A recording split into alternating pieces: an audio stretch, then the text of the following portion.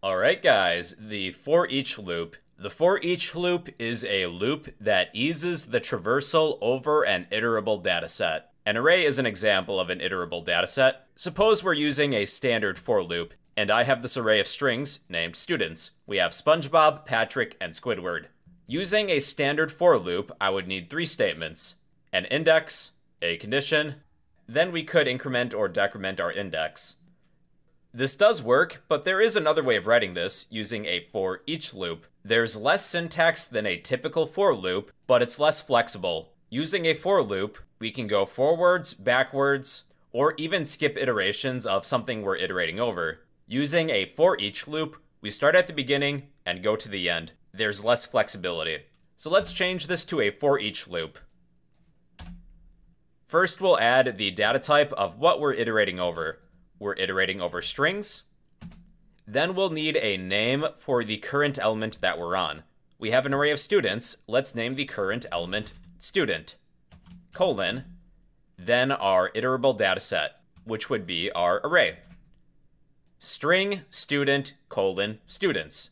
During each iteration, let's display whatever the current element is, which I named student. Then I'll add a new line. And there we go, we have our three students. Then you could change the amount of students if you would like. Let's add Sandy. Now we have SpongeBob, Patrick, Squidward, Sandy. Let's try a different example. Let's work with grades this time. These will be of the int data type. int grades equals, make up some grades.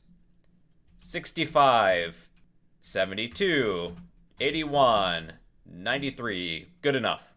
The data type of what we're iterating over is not a string this time, it is an int, integers.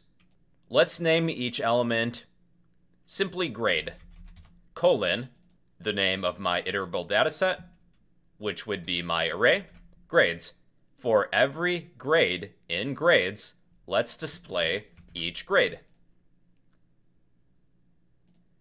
And here are the grades 65, 72, 81, 93.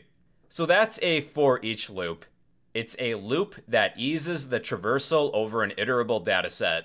There's less syntax involved in a for each loop, but it's less flexible. If you just need to display the elements of an array, a for each loop would work perfect.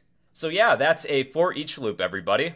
Your assignment is to post a for each loop in the comment section down below. And well, yeah, that's the for each loop in C++.